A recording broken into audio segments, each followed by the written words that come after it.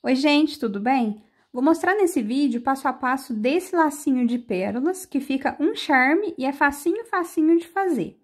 Eu vou estar tá usando para fazer ele aqui pérola 10, pérola 6, pérola 4, pérola 3 e pérola 8. Pessoal que ainda não foi inscrito, já se inscreve aqui no canal, ativa o sininho das notificações para estar tá sempre conferindo as nossas novidades em primeira mão Compartilhe também nosso conteúdo nos seus grupos de artesanato, que ajuda muito na divulgação do nosso trabalho.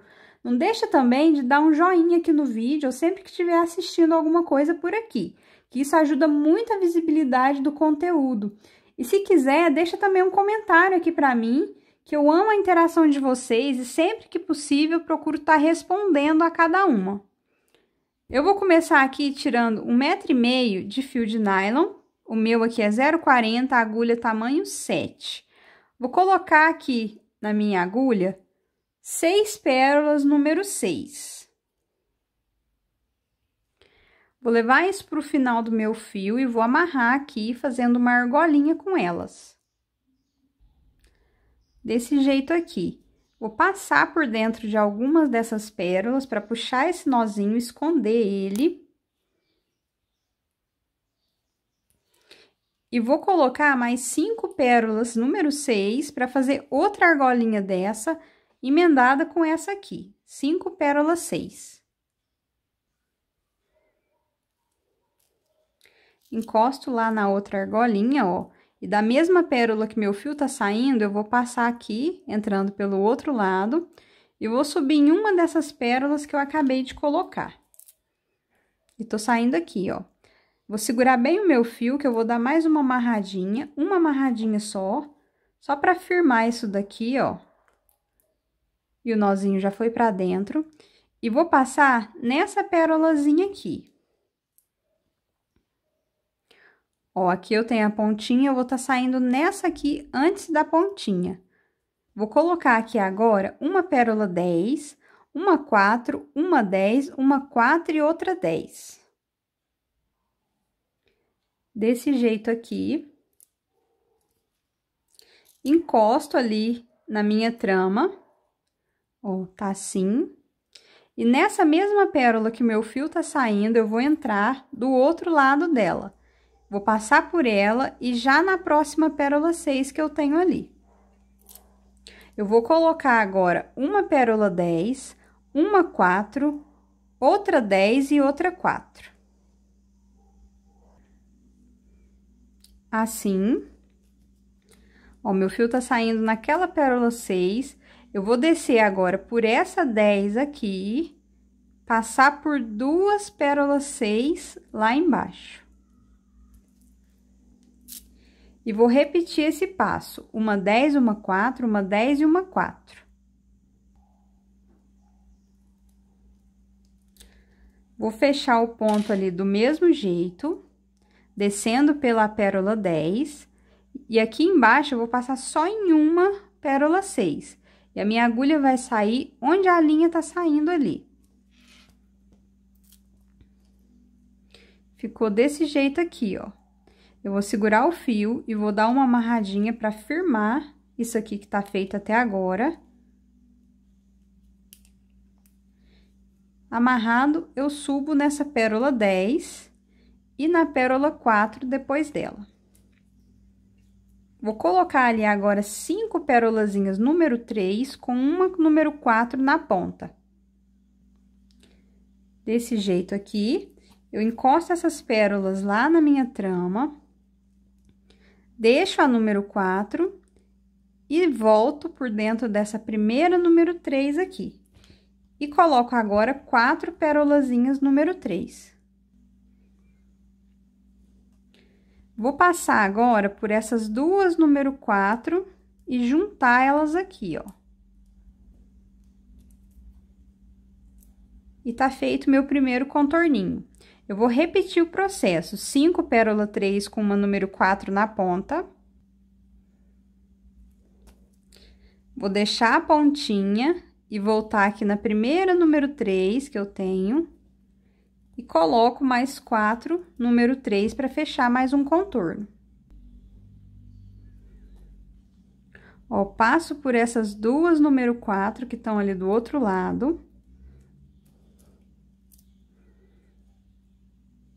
E vou repetir esse processo do contorno nessa minha última pérola número 10 aqui. Aqui eu tô terminando, ó, coloquei as quatro pérolazinhas e vou descer nessa número 4 aqui, ó. Passo só por ela. E ficou assim. Eu vou dar aquela amarradinha que eu gosto de dar sempre para firmar o trabalho, ó. Que aí fica bem justinho esse contorno. Aí sim eu vou descer por essa pérola 10. Desci pela 10, vou passar por essa número 6, que tá entre essas duas número 10. E vou colocar aqui agora duas número 3, uma número 4 e três número 3. Desse jeito aqui. Ó, o meu fio tá saindo lá embaixo, na número 6. Eu vou entrar nessa número 10 que tá em cima dela, voltando o fio tá saindo pra lá, eu vou entrar pra cá. E vou colocar aqui três pérolas número 3. Agora, olha, aqui onde o fio tá saindo, eu vou segurar para que ele fique firme, que não fique folgado esse arquinho que eu fiz aqui. Coloquei as três número 3 e vou descer por essa número 4 que eu tenho aqui. Tô segurando o fio do outro lado. E coloco duas número 3 para ficar igual esse outro lado ali.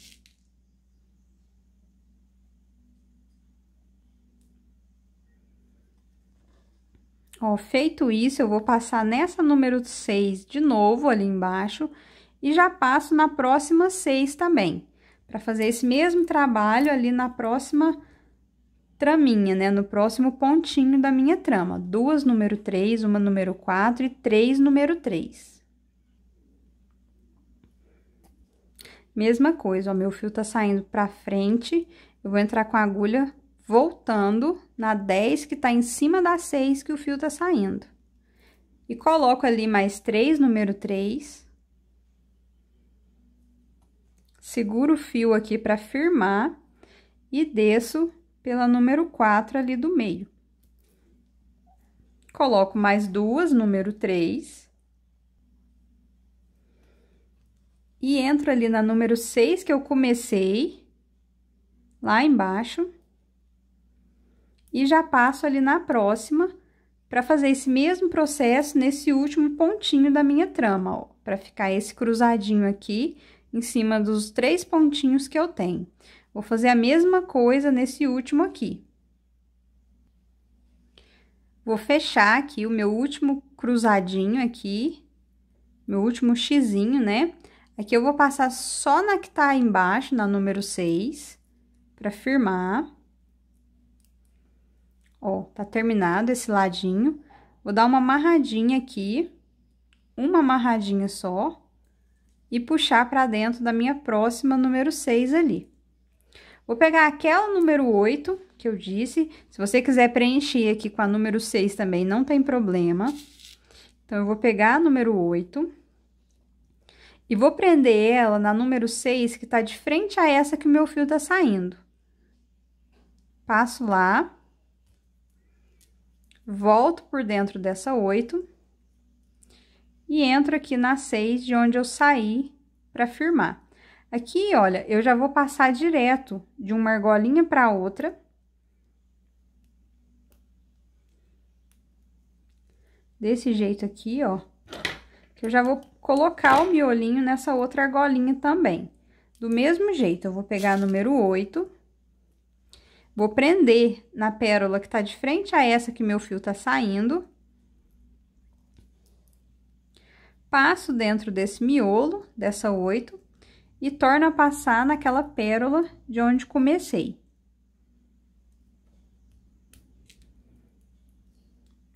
Ó, e ficou assim. Vou dar mais uma amarradinha aqui para firmar esses miolos.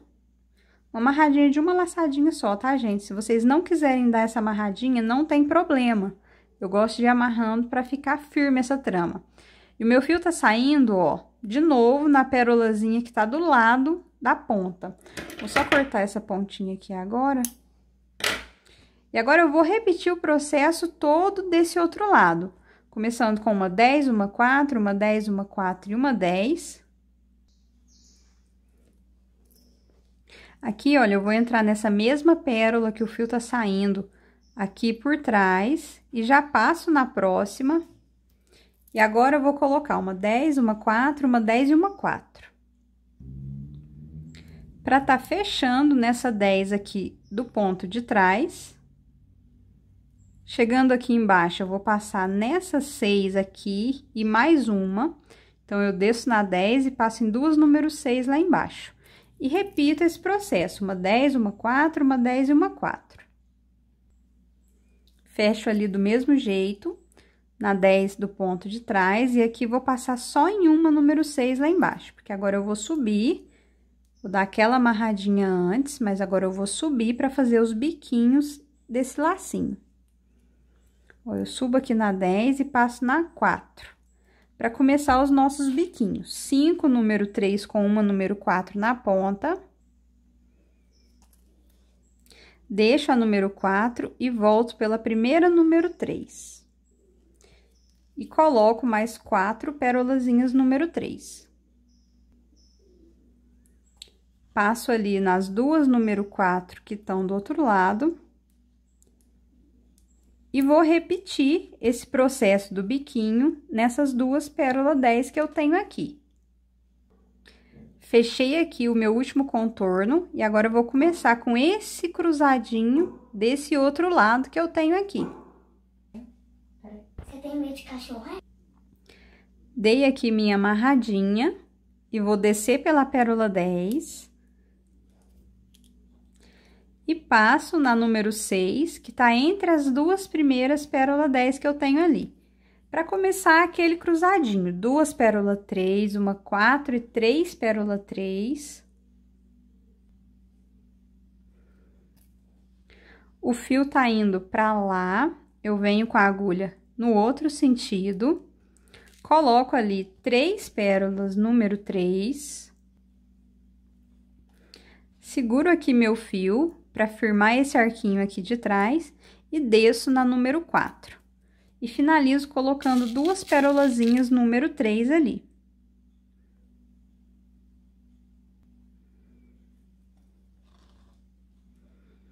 Aqui, olha, eu vou entrar na número 6, de onde eu comecei esse cruzado, e já passo na próxima número 6 lá embaixo para repetir o processo. Vou repetir fazendo esse cruzadinho aqui, nos dois pontinhos que eu tenho desse lado também, para que fique igual a esse outro lado. Ó, tô terminando o meu último cruzadinho, vou passar só na número 6 que tá aqui embaixo. Uma número 6 só. Tá saindo ali o fio. Vou dar uma amarradinha aqui, agora eu posso amarrar umas duas vezes, que eu já terminei essa parte. Vou arrematar agora. E vou passar por mais uma número 6 para puxar esse nozinho, que agora eu vou fazer o detalhe de strass aqui. Se você quiser usar assim, olha, é só cortar o fio e já tá pronto. Eu vou utilizar aqui para fazer o meio desse strass uma mantinha de strass de 4 centímetros de comprimento por 1 centímetro de largura. São quatro fileirinhas de 11 pedrinhas cada fileirinha. Aqui, olha, eu tô saindo nessa pérola 6 do meio, eu vou sair aqui pra trás, ó.